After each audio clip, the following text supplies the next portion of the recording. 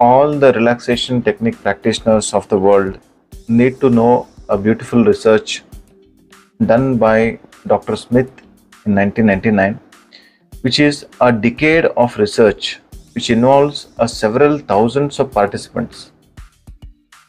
So, this research has revealed that relaxation evokes at least nine special states of mind, which, which we term it as R states or the relaxation states.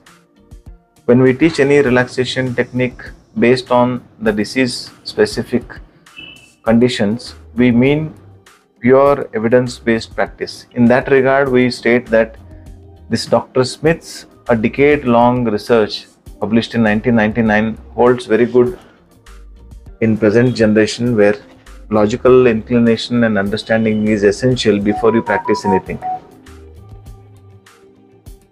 So this R state contains nine special states of mind.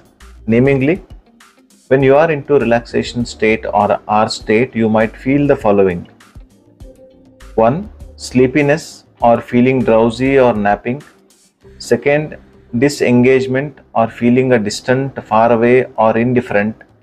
Third, physical relaxation, feeling physically limp, warm or heavy limbs.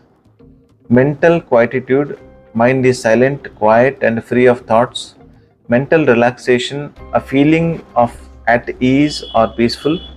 Strength and awareness, a feeling of energized, confident, focused, clear and aware Joy, a feeling of happy, joyful, having fun. Love and thankfulness, a feeling of love for others and generally thankful behavior. And prayerfulness, a feeling of spiritual, reverent, and prayerful thought. This state is more than a rewards of state of relaxation.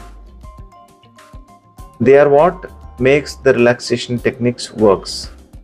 So let me know how you feel about this R states, relaxation states of mind, and what all things you have experienced in this R state.